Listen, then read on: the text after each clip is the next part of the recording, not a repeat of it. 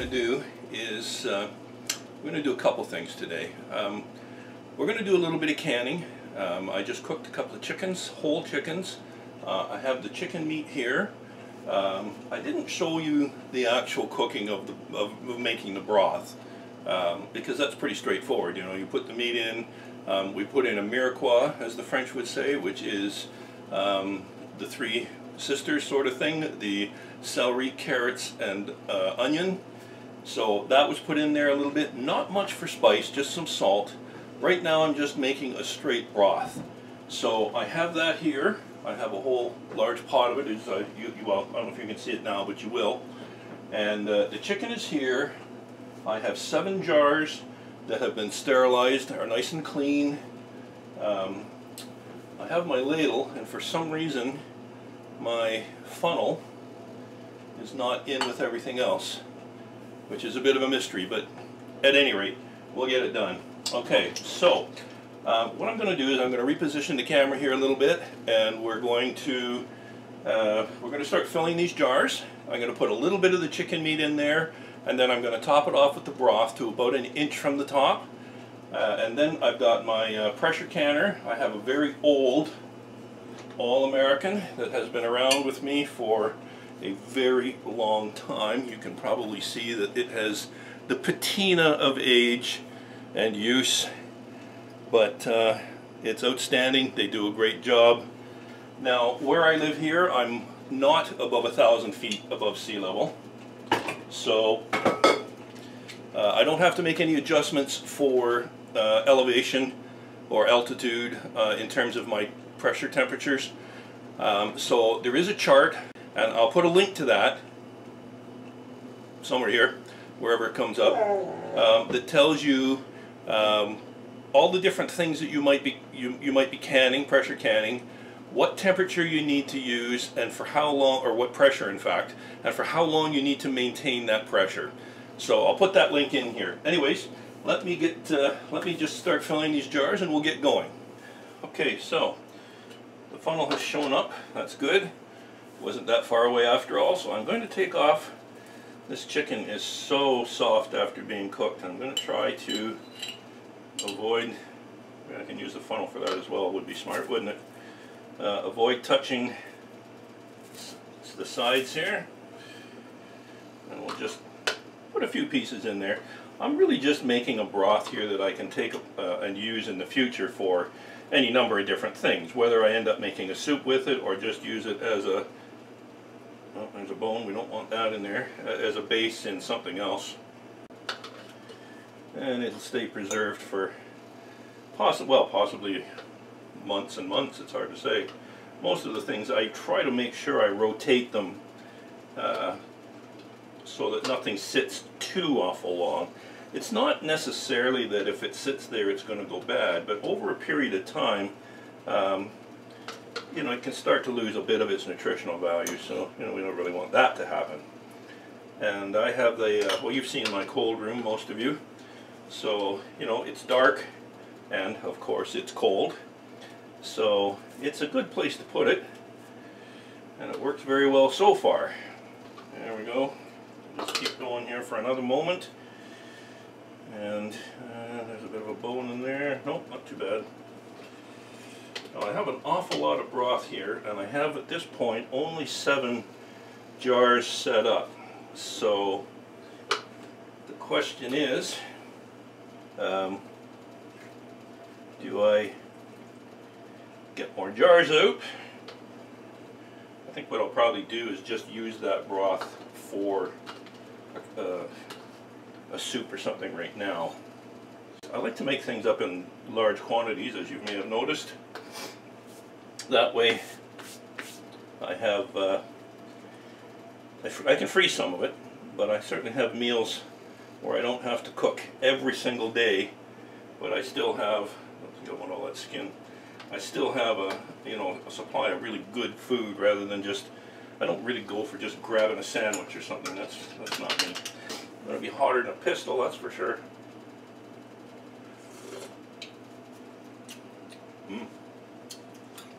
That's good.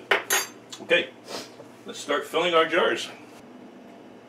I didn't really strain, in fact I didn't strain it at all, my broth here. I think the next time, and I, I should have known better, I should have broken the, the chicken up. I put it in in one big chunk, and I think I probably should have at least split it. Now I want to leave approximately an inch, so I want to get up close to the bottom of the threads there. I think that's just so that actually touches the bottom of the funnel. That's that's pretty much a good measure.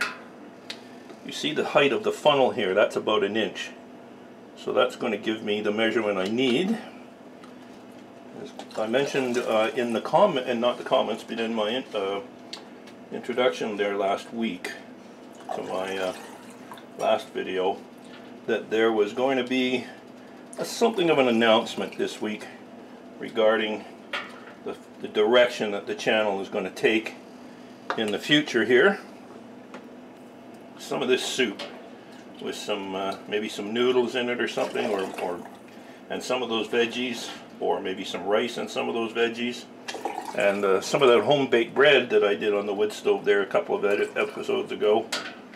Wouldn't that make a dandy meal if you're out at some hunt camp somewhere and it's cold and maybe you've been wet because you're out all day doing your thing and you can come home and, and in a very very short period of time you can have an awful nice warm nutritious super good tasting meal. Yeah, there's still a lot of a lot of stock in there. So I'm going to probably get some more jars. In the meantime, I'm heating up my canner here. It's on the burner beside it. I'm bringing that up to temperature. The, uh, the soup is hot. It's still steaming hot. The jars, excuse me, just came out of the hot wash with a little bit of uh, strong detergent and a few drops of bleach in there. So that's nice and clean. This is coming up to temperature. I've got my seals in a little pot in the back there that you probably can't see. So I'm just going to reposition here and I'll bring you right back. And I'm just going to clean this off. That is certainly warm enough. That tidied up. Here, let's, oh, you're not supposed to be out there. Okay. Now we know we're going to get a good seal. Everything is going to be uh, hygienic and clean. We're going to probably use that again later. I think I'm going to go for more. So I'll get some lids and I'll start putting the seals and the lids on. So what we're going to do here, we're going to take our magnet, reach over the top, grab a lid, okay, grab two, set them on our jars.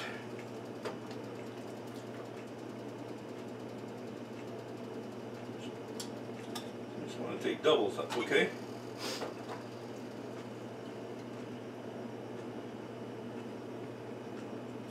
There we go.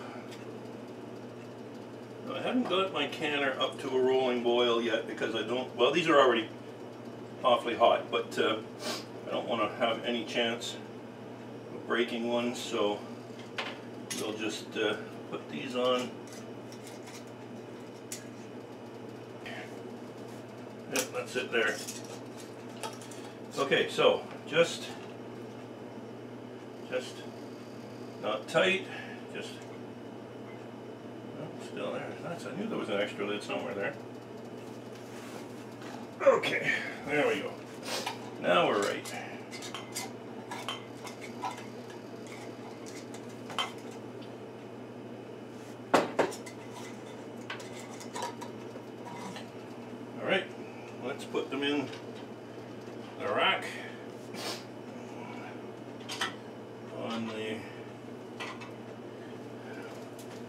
bring you over here.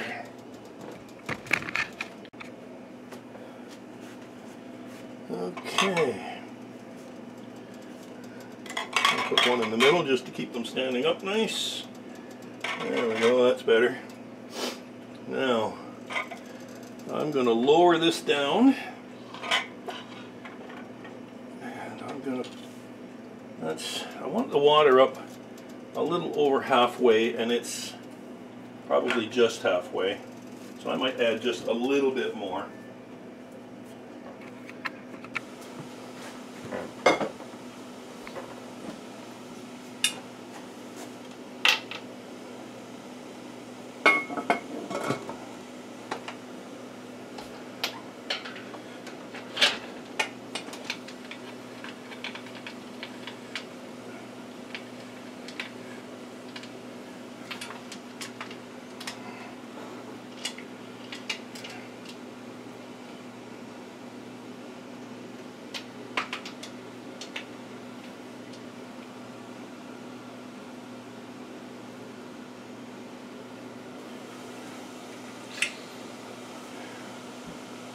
Okay, so what we've done is I've turned the temperature up to high and so now what we want to do is let it come up to temperature.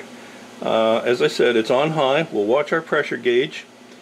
In this area here, because we're using the gauge and not just one of the weights that sits on there, we want to go for 11 pounds uh, because I'm not above a thousand feet above sea level. If I was using the kind with just the weight on there, it would be a 10 pound weight. I'm not sure why, but the gauge wants it slightly higher. There, might be some mechanical loss through the uh, operation of the gauge, but either way, we're going to get 11 pounds, and then as it starts to get up to 11 pounds, we're going to adjust the temperature so that it maintains it, and it's going to sit like that for 65 minutes. Okay, so it's been about 15 minutes. Um, I just closed the valve here. Uh, I left it open just initially as it started to come up to a boil. Now, if you look carefully here, well, how well that focuses, but I'm up just about 10 pounds now. So I'm going to start dropping the temperature. I want that to hit uh, 11 pounds. I don't really want it to go over. It can go over a pound. That's not a big deal. So I'm at uh, I'm at about nine right now. Okay, 10. So I've cut the temperature back down to about a little over half. And I'm just going to keep an eye on this and see if it creeps up to the 11 or I may have to bring the temperature back up. Once you get to the 11 pounds, uh, in this case, which is what we're looking for, that's when you start your timer for 65 minutes. And you, you can't start from the time you first put it on. It has to be from the time when you reach your, your goal temperature or pressure. If during the time of your 65 minutes anything happens, I'm going to have to turn that back up a bit, anything happens that uh, lets that pressure drop from from 11 now maybe down to 10 briefly but no no more than that at the most if it drops any more, you have to bring it back up to the 11 pounds and restart your time right from the beginning. So even if you've had it in there for 30 minutes, if you've lost your temperature, your pressure, you have to bring it back up to pressure and you have to, to start your clock at 65 minutes all over again. I know that seems a little unusual, but that's what they say and it's just not worth taking the risk. So you want to watch this fairly carefully. Once it stabilizes there, I'm going to uh, I'm going to wait for 65 minutes. I'm definitely going to keep an eye on it during that time, not every minute, but but frequently, very frequently. And I'll bring you back when we're uh, when we're ready to go to the next level. Okay, so while we're waiting for this to uh, to do it 65 minutes, we've stabilized the temperature. I'm going to take a couple minutes now since we've got some time and and talk just a little bit about the, uh, the future of this channel starting, um, you know, maybe in the next month or so. Um, a couple of years, well, about two years ago, when I opened the channel, I, uh, like a lot of people, I opened it just so I could communicate and talk to the other guys who were producing the videos. And of course, after about six months of that, I got interested and the rest is history. When I named the channel Hunt Shack Wilderness Experience, my intention was to spend more time actually in the wilderness doing that type of thing. Um, it turns out that just about that time there was a significant health issue that had to be dealt with and it kind of threw the whole thing sort of cattywampus there for a while.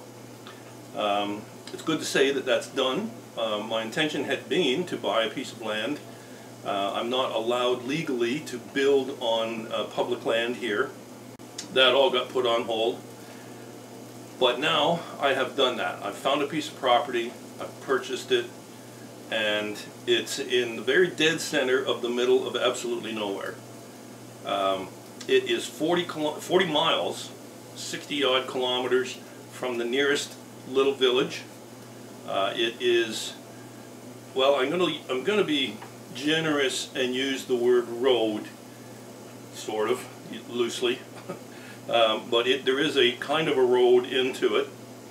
Um, I don't know that I can get my truck in there. Uh, I, I, know I will certain points of the season, but certainly not necessarily all the season. Um, if it's been rainy or certainly with heavy snow, but if it's been rainy in the summertime where the beavers have been extra active, um, there's portions of that road that, that might not be very transportable, um, you know, even with a four-wheel drive pickup.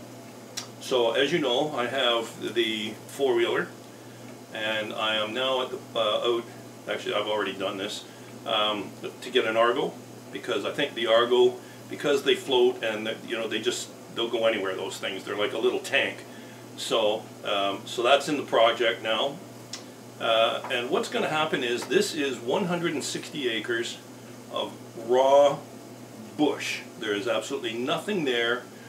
Um, the north property line goes runs east and west, but the north boundary is uh, 2,664 feet or something. Almost all of that is a great huge beaver pond. Uh, and just before you get to the northeast corner of the property, that tapers off and becomes a creek that goes off into the distance. So my intention is to go in there and build uh, a hunt camp, basically, a cabin. The cabin will be uh, winter winterized to the point where I can uh, stay out there late into the fall and perhaps even in the wintertime. If I decide to go in there on a snowmobile and spend a couple of days I'm going to do that. So uh, I'm not going to go into a lot of detail here because it's still a little ways away and there's lots of time. But that's kind of the theory of the thing. So there'll be a, a little cabin maybe uh, and you know wood stove you know all the basic things like that so part of the uh, initial part of, of all this will be the build um, when we get into the property, right now there's six feet of snow, um, we'll do a little bit of walking around and, and seeing what there is. I can't wait along the edge of that beaver pond to get some trail cameras out. Um, it is moose and bear paradise in there. It is bizarre. And they're, they're so far back in there, you know, 40 miles from the nearest town, it, you know, they're not, most of those animals will have never seen a person. So that should be pretty exciting. So anyways, that's, that's kind of the direction we're going to go. Um, uh, I'm not going to build it primitive in the sense that I will use my Argo, the chainsaw, um, probably my Alaskan chainsaw mill, uh, but the handwork will be done by hand. Uh, over the years, uh, one of my hobbies has been collecting old, old tools. So, uh, and as you know uh, from my videos, I've been making tools on my forge, handmade. So I have an old draw knife from um, 1832, um, the froe that I made, and all those other pieces. I still have to make myself a broad axe. Um, I have auger bits, the old-fashioned hand-turned auger bits. So it's going to be pretty cool.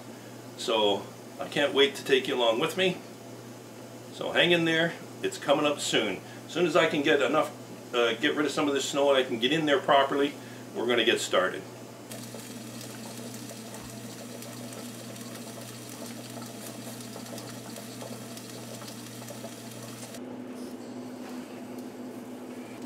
Okay, time's up. Okay, so it's been maintaining about 11 and a half pounds all this time, which is really good. Uh, that's just about just about perfect. So I'm going to turn the heat off, but I'm not going to, I certainly am not going to open it because there's a lot of pressure under there and, and you can get badly burned. Um, the little valve here, I'm not going to open the valve either.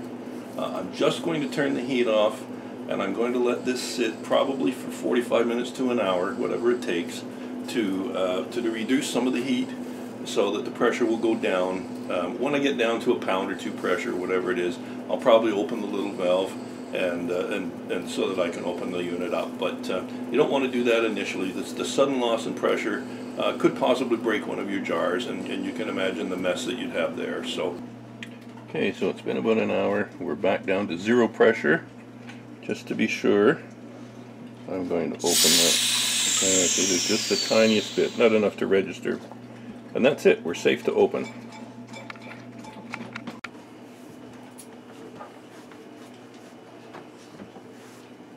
Okay, now this is still really, really hot and tight.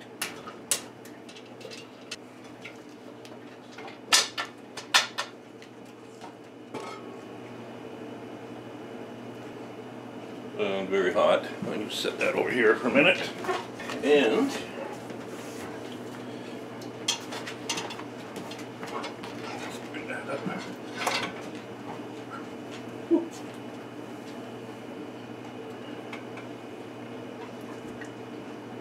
There we go. Look at that.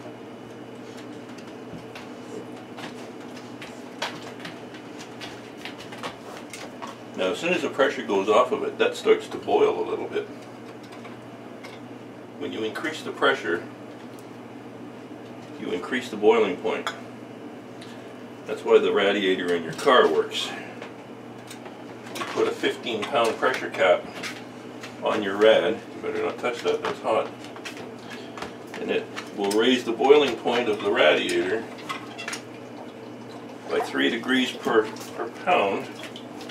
So rather than boiling at 212, it will boil at whatever, 240 or 50 or whatever the case may be. Not all pressure caps on rads are the same. That's why your car doesn't overheat. And there we go. Seven of them. That's just boiling away in there. We're just going to let that sit. I can see that these lids are already all pulled down, sort of concave, so we've got a seal. But we're just going to let that cool. And that can sit there for another hour.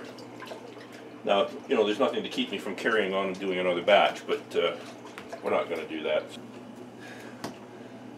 Okay, so that's uh, that's it for our canning session. Uh, even though it's off season for canning, basically, um, when you're doing these things anyways, you know, you're cooking up your chicken or whatever, uh, and you're going to end up with a fair bit of broth, or at least potentially, why not, it doesn't take long, why not just can up, there's another seven jars that I wouldn't have had. So, um, waste not, want not, as they say, and they've all turned out good. I'm looking forward to having some soup base or some kind of stock base for these when I get going. Uh, anyways, I hope you enjoyed it.